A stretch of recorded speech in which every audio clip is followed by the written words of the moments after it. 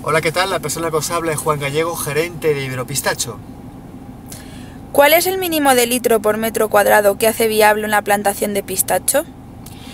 Desde nuestra experiencia, el mínimo de litros por metro cuadrado para que el cultivo del pistacho sea viable, rentable en el secano, son 250 litros año.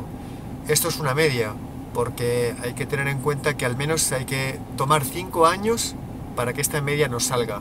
Habrá años que tengamos 200 litros, habrá años que tengamos 400 litros.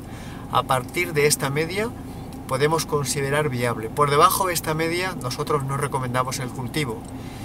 Y prácticamente todo el secano que tenemos en España es viable para el cultivo del pistacho. Hay zonas que me vienen a la mente, por ejemplo, como el desierto de los Monegros en Zaragoza o como el desierto de Tabernas en Almería, que no lo serían, pero la inmensa mayoría serían viables para este cultivo. Luego habría que tener en cuenta otros parámetros como las horas frío, horas calor, suelos, etcétera, pero nuestra experiencia nos dice lo que acabo de decir.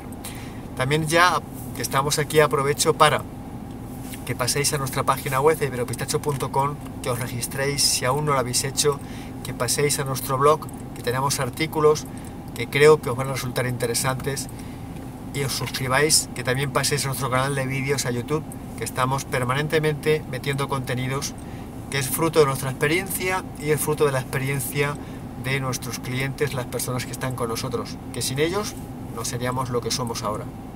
Gracias y pasadlo pistacho.